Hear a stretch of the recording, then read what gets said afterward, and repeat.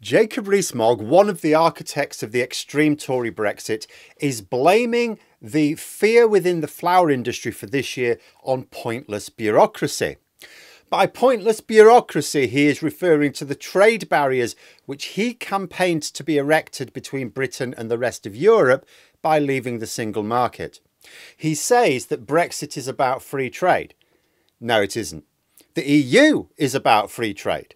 As members, we could send a package to Belgium as easily as we could to Birmingham. Now we can't. We can't even send something to Belfast as easily as Birmingham. Brexit was all about trade barriers, never trade freedom.